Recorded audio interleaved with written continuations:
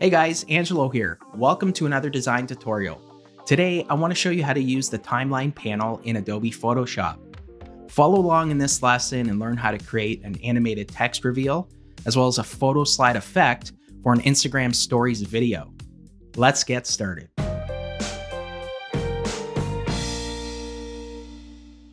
All right, so on my screen, I have an Instagram stories project that I'm working on.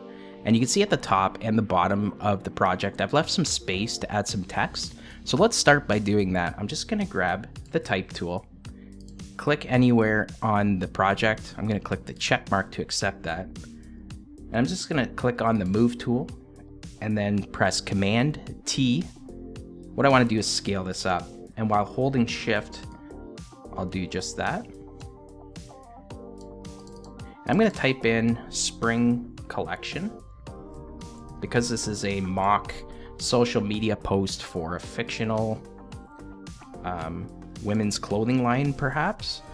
I want to scale that up. And I want this to go over two lines because this is going to be viewed on a mobile device for the most part. I want to make sure that the text and the animation that we set up is visible to everybody viewing it. So I'm just going to center it to the project for now and hit enter. And you can see in my layers panel here, I have the text layer there, spring collection. Now instead of repeating that same process, what I'll do is just option drag another copy. And I'm gonna bring it down below into this space here. And this will be just 25% off. Now I kind of want to center it to this this rectangle down below here. You could center it to the actual project, but I'm gonna put it kind of centered to that rectangle there, okay? And so the idea here is I want this spring collection title to appear as an animation when someone views the story, but I just don't want it to fade in. I want a cool transition, perhaps have it reveal out of a, a line. So I'm gonna show you how to do that using layer masks. For this, I'll need to select the line tool. If it's set on rectangle tool, which it may be by default, just click hold for the flyout and select line tool. I'm gonna hover over my workspace here, hold my shift key and draw out a line, roughly a little bit longer than the title. Now you can see the stroke is black and I want it to be the same color as my text there. So I have that. I also want to increase the size of the weight of the stroke. So something like maybe let's try 8, we can always decrease. That's good there because I want it to be visible when the, the animation starts. And so what I'll do is have it maybe line up to the frame of the image. We'll add the images in just a sec. So I have my text here and I also have my line. Let's go ahead and add the images to this project. There's three altogether and we'll animate those after as well. You can see in my layers panel, I have a main images folder. And within that folder, I have a rectangle. You can see I can turn it on and off. Basically what that's gonna be is a container and I'll clip the images so it fits that rectangle that I've set there. So I'm gonna do is just drag all three images that I have into my project. And I wanna put them into that main images folder in my layers panel. And then I'll, I'll show you how to clip them. So I'm going to check that, check that, and check that to accept all three. Now you can see image one, two, and three. I'm just gonna hold my shift key to select all three. And I wanna drag them into that folder there. And then while holding option on a Mac, alt on Windows, go in between each layer and then click, click, and then click again. Now I can see if I turn these off, they're all there and they're contained, they're clipped inside. So that's exactly what I wanted, but I do want to reorder these in the order that I have them numbered here. So you have one, two, and three. And so what we'll do at the end is have these slide in or out. Um, so we'll have the text appear and then the images slide through so you can see the products that the the um, the sale is all about. Okay. And so now we're ready to start animating the text. For this part, we're going to need the timeline panel. And to access it, just go to Window and Timeline. And basically what we're doing here is creating a video timeline. We're going to render this as an MP4, which you can go ahead and share on your Instagram story or any social media post for that matter. So I'm going to click create video timeline and you'll see all the layer all the layers from my layers panel are pretty much duplicated here in the timeline. And this is where we can start adding the animation using keyframes. Before we get too far ahead, I want to zoom in here and I'm going to click on the rectangle marquee tool and I'll show you how to add a layer mask so you can animate the text coming out of the line that you see there. I'm going to start my selection on the line and then just select the rest of the text. It doesn't have to be perfect, just make sure that you have the, the text selected.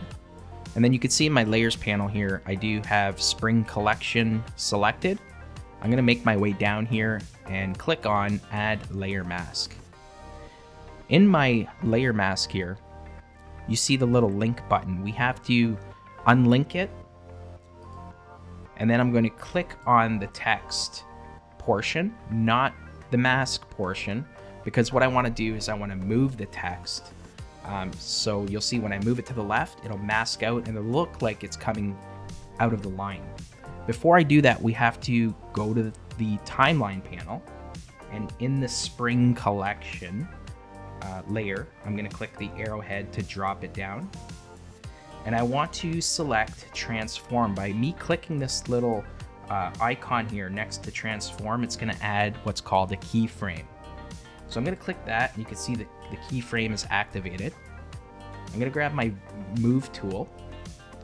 I'm gonna hold my shift key and drag this to the left. And you can see it's masked out and it looks like it's going to come out of the line. Okay. So something like that is fine. I'm going to move the scrubber to about maybe, well, let's move it to maybe that area there. And I'm going to add another keyframe. And in this case, I'm going to position it back to where I had it or wherever you want it to be. So something like that is fine. Now if I go back and play it in my playhead here, you can see it's animated just the way I've set it up. Next, I want to add an animation to the line.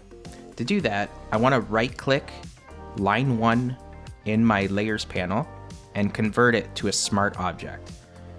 What that'll do is it'll give me the ability to add a keyframe to transform the line. Okay, so I'm gonna zoom in a little bit here. And what I usually do is add a guide at the top, the bottom, and the middle. And what that does, it helps me when I'm transforming it to know where the, the start point is and the end point. So what I'm gonna do is gonna grab the scrubber and go all the way to the beginning and add a keyframe to my line layer. And then I'm gonna hold uh, Command T and then I'm just gonna take the top of that and bring it to the middle guide and do the same thing down below Okay, so it'll be something like this and then just click the check mark to accept that. I'm going to go to the same area and add another keyframe, Command T. I'm going to drag the top right back to the top of that guide and do the same down below. Grab the bottom and move it down to the bottom and then select that. And you can see I'm going to set that up so it makes more sense, but the line actually transitions with the text. Now I want the text to come in a little bit after. The cool thing about this is I can move the keyframes.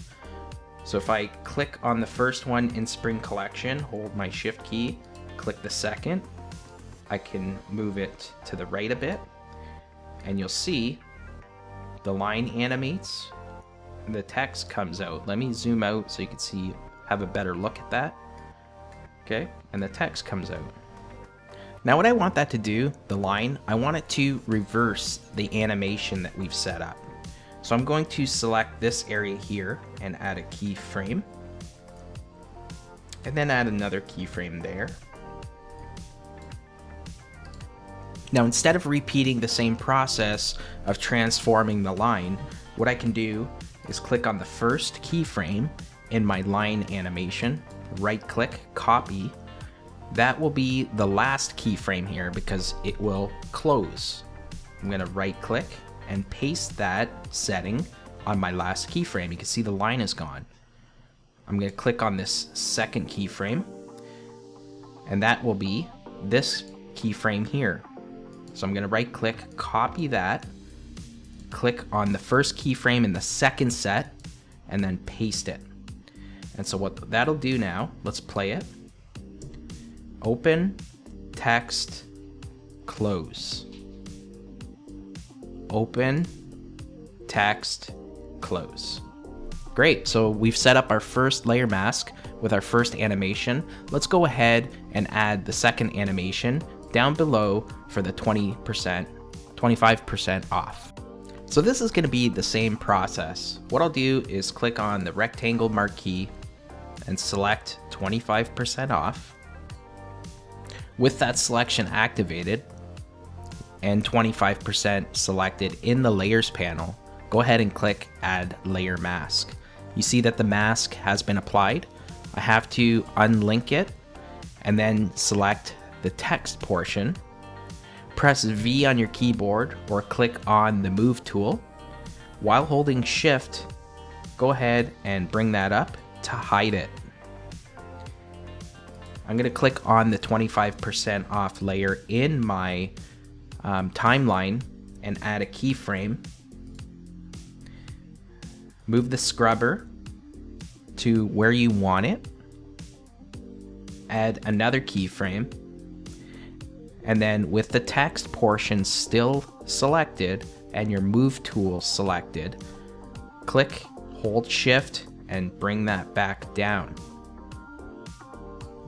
And you can see, as I'm moving the scrubber, that animation has been applied now as well. So let's go ahead now and play the entire animation as we've set it up so far. I'm just gonna zoom out and let's press the space bar, spring collection, and then 25% off. I may move the 25% off keyframes to the left a little bit and then you can see if you actually drop all these drop downs, you can see where the keyframes are.